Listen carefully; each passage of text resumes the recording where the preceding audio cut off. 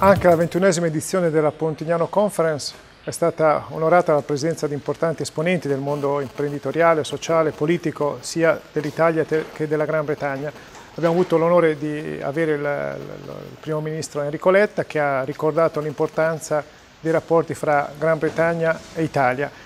C'è un legame molto forte di cui è proprio un esempio nostro, la nostra conferenza, la Pontignano Conference, che è una delle forme del dialogo fra Italia e Gran Bretagna. Come sappiamo questa conferenza si è eh, svolta sui temi del welfare, un tema che è particolarmente importante in questi giorni anche per quello che è successo nelle acque di Lampedusa e eh, anche in questa conferenza si è dimostrato che per riuscire a, a